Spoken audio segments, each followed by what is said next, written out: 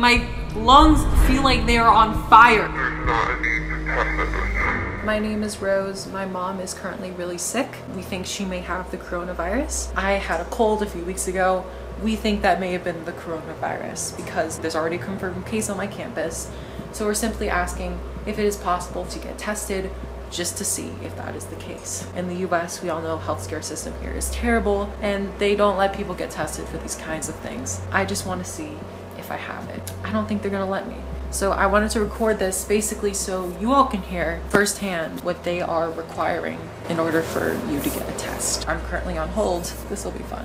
It's Rose. And I haven't even seen in previously. I have, that is correct. What symptoms do you need to show in order to be allowed to have a coronavirus test? Because we've already had a confirmed case on campus, which is why I'm concerned. I- So I wanted to ask, like, if I walked into health services right now, I couldn't just get a test. Right, and neither can I. There's not a need to test at this time. Right. I'm just saying I was sick a few weeks ago. My mom is sick right now. I'm just like really nervous with this whole coronavirus thing. So wash your hands and stay calm. Right. Bye. Bye. And folks, that is what happens if you request for a test for coronavirus. So Warning very sad. Why don't I have 1 million subs yet? This isn't fair give me subs.